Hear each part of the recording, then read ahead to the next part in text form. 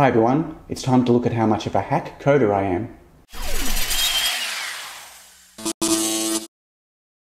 It's time to start looking at some code for the Neo 7 segment display. I've been working on a library for it. It's pretty messy right now and just a whole lot of test code. It needs a, a lot of work before I release it, but that's okay. I'm not in a particular hurry. But it's got some pretty cool functionality. Before we get started, I just wanted to go over what I'm using to test this with. So as you can see, I've got a Neo 7 segment set up. It's currently plugged into an Adafruit uh, M0 Feather. It's a pretty fancy one. It's got Wi-Fi and Bluetooth and all sorts of other stuff, but I'm not using any of that. I'm just literally driving some NeoPixels from it. Before I get started, I'm just going to light it up. And there we go. It's currently showing the, the character 8, which obviously is just all the pixels lit up. And just to show that this is actually doing something, if I tell it to show the character 4, you'll see it'll actually show the character 4. Here we go. So it is actually working. So let's just have a quick scan of this code and then I'll show you some of the cool things that I've done so far and then I will show you the progress of my library that I'm writing. It will actually be a library that you'll be able to download and add via the library manager at some point if I ever release the boards technically I don't have to release the boards. You could build a, a Neo 7 segment display just using some NeoPixel strips and that'll work just as well if you want to. So this project is totally entwined with the Adafruit NeoPixel library. I'm not even going to try to you know reinvent that. That's a, a fantastic library. It handles a lot of the stuff that we need. And so the only thing I'm really going to be doing is extending this with my own library. And all we need to do is initialize how many digits we've got. Right now we've only got the one board, so its number of digits is 1. The data pin we're using, in this case it's digital 6 pin. Number of pixels just works out that there's 28 on a board times number of digits. It's all passed into the pixels class for the setting up the Adafruit NeoPixel array. We've got a delay interval value, I'm not even sure if we're using that anywhere right now. A rainbow index which is I'm using to cycle colours just code here for the ATtiny 85. This was part of the NeoPixel code. I've got a whole lot of stuff commented out, so I'll just introduce things as I go through, just to show how it all works. We do a pixels begin. I'm setting the brightness to quite low, firstly so you can see it on the camera, and secondly because it just doesn't need to be super bright and it just draws way more power, more amps the brighter you go. And these are super bright LEDs, so you just don't need them. As you can see up here, I'm including my Neo 7 segment .h. So these all defined in here. So we've got a display text color, which is literally just displaying a single character. I can tell it to display the letter A, and I can make it red.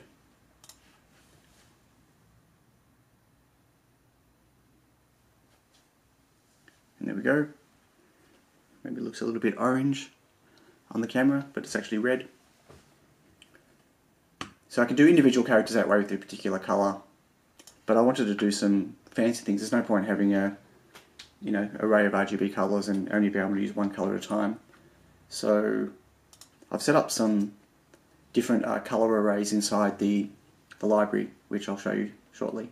But this one here, for instance, will show the character 0 in a rainbow gradient as you can see there. So it's, it's got, doing a gradient from top to bottom and back again. So that's kind of cool. There's obviously a limitation in what characters a Neo 7 segment or any type of 7 segment display can show. For instance, you can't do a, a W or an M, but you can obviously display enough characters to do some basic messaging. So what I've got here is just a, a method that's going to go through all the different characters that it can display, and there's quite a few of them. I've made sure I've added as many as possible. And if we go down to to show all possible characters method, all it's really doing is, in this case, doing a display text color like we were doing above, but it's grabbing the character from the array of all the characters that it can actually show. And I'm just getting it to do it. It's kind of like a pinky color and waiting half a second each time. So if I just run that here, you'll see that it'll cycle through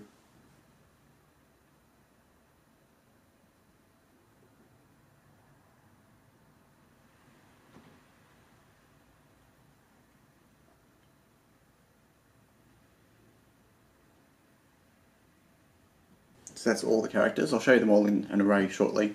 What I have done though is there are some characters that can be displayed as a lowercase and an uppercase. I've opted to just use one. So that's just cycling through all the different colours, uh, sorry, all the different available characters. And then this one here is going to try to print hello world. I do a, a two lower or two upper on everything, so it doesn't matter, you, could, you can mix them. It'll still get the correct character. This is going to go through the string. At the moment it'll only display on the one board, but technically once I finish the library, if there's four boards in a row, it'll display four characters at a time. So you'll notice that when it goes to print the W, there just won't be one.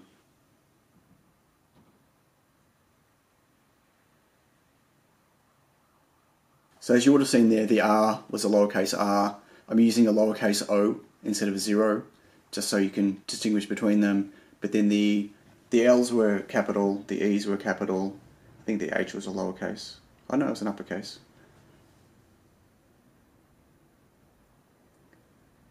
You can see how super prepared I am for this. So an, up, uh, an uppercase D is just going to look like an O, so we did a lowercase d. So I've tried to use the best character, no W, so people aren't necessarily going to understand what that is. So that's all great for displaying a single character in a single set of colours, but what about animating? Well, there's no real way to get around using a loop, but I've got a couple of different things that I'm playing with right now. So the first one is just displaying a, a single character. In this case, I'm just going to use a 8, and it goes through and actually cycles like a rainbow. So you can see it's cycling there through all the different colours and this could be any character or any array of characters. So if I make it a, an S, you see it'll cycle through those. And uh, technically you could make each character on, or each board display a different cycling set of colours or they could cycle across. So another thing that I'm working on, I haven't got it fully working yet, is doing a rainbow but per segment. I've got something wrong with my maths somewhere, I think, or something wrong with my array, but I've got a, a method called display text segment rainbow, and it's going to do the 8, and it's supposed to be cycling through the rainbow colours per segment, but there's something something going on. I'm not quite sure what it is, so I'll keep working on that. Again, it's a bit hard to see the vibrancy of the colours through the camera.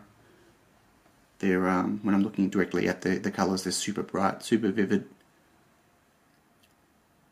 But you can see it's definitely going. It looks like it's actually displaying different characters. It's not. It's just for some reason passing no color to some segments sometimes so I need to keep working on that work out what that is oops don't know about on Windows but on the Mac if you try to double click in the editor to grab some text it sometimes grabs it all, sometimes just grabs a section, as you can see there, which is frustrating. So I, I double click on it to change it, and then I type, and it's only changed some of the text. Okay, so let's have a look at the library code. I might just put uh,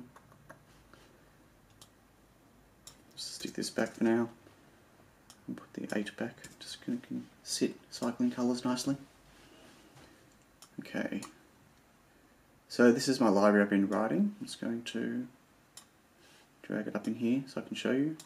Here's the .h file, so these are all the different methods that I've exposed so far. And here's the .cpp, which is all the code. So I'm just going to do a quick scan of this right now. Uh, I might do a, another video down the line when this is all completely finished. Like right now, it's just a whole lot of methods, but it's not set up as a class, so you don't initialize it like a class like you do with the, the NeoPixels. I'm going to change that over and make it class-based. I'll be able to make it a lot nicer. But you've got stuff, for instance, like the, you know, these are the segments of the NeoPixels. So segment 1 is, is pixel 0, 1, 2, and 3, and segment 2 is 4, 5, 6, 7. So these are all set up in an array I've got a list of the actual XY coordinates of each pixel of where they actually sit on the board.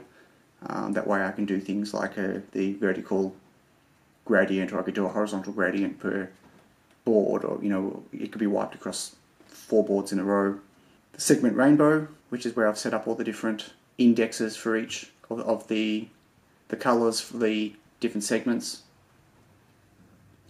And here is a list of all the characters that can be displayed. So there's 31 of them. So we've got 0 up to 9, A to F, which is your normal hex values, and then obviously a G, an H, an I, J, L, N, O, P, Q, R, S, U, X, and Y. And obviously, all in a space. And obviously some of these don't look great. Like a, an X just looks like an H, because that's the only way to really display it. So that the idea is that in the context of the word, you'd understand what the letter was. You wouldn't mistake it as being an H if you were, you know, writing the word fox. hopefully, you'd understand that it was an X and not an H.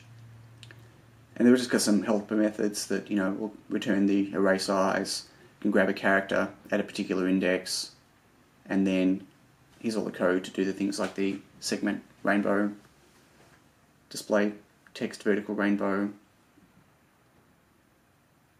So basically all I'm doing in these is I'm going through using a mask to determine which bits should be on and off for a particular segment. Right now I've got a check in here that's checking that the segment number is less than 7. And the reason I've got that is normally a 7 segment display has the, the 7th segment, or the 8th segment, because 0 to 7. The 8th segment is the decimal point.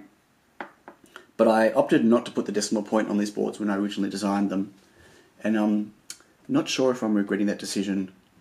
Uh, I think they become a little less useful for people who want to be able to display some data and they need a decimal point or a period. So I might actually redesign the boards or make a, a new revision that actually has a decimal point. So that's what the, the last segment normally is. And if I don't trap for this last thing, it actually tries to display data on that segment and there isn't one.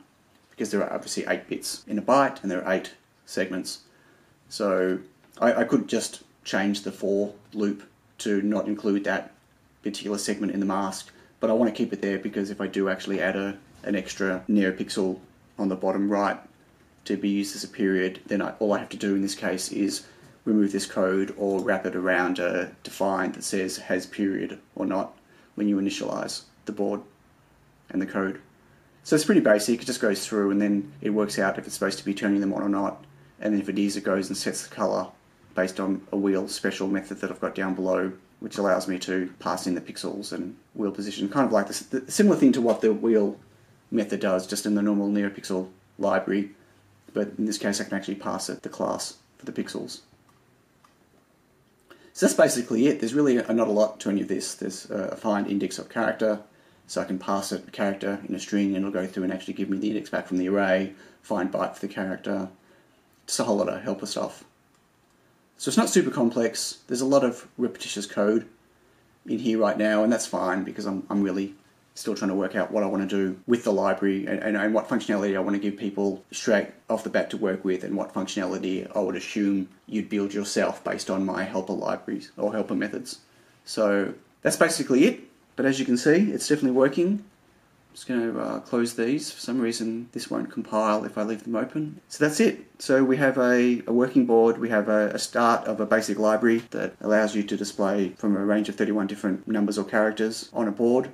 The next step is going to be for me to put four boards together, finish off the library or at least clean up the library a little bit, and then my plan is to actually make a YouTube subscriber counter out of these using a Wemos D1 Mini. That'll go off to the internet, grab my data and display it on a board, and then the next exciting, exciting step for that is going to be once I've got my laser cutter fully set up and working, is to actually cut some acrylic for the back and front and actually make a really nice acrylic based polished display of a, a four digit Neo 7 segment YouTube counter.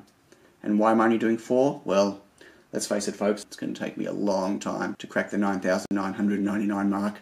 So I think a subscriber counter with four digits will last me a long time. Okay, thank you for watching. If you've got any questions, please post in the comment section. I'll be quite happy to answer.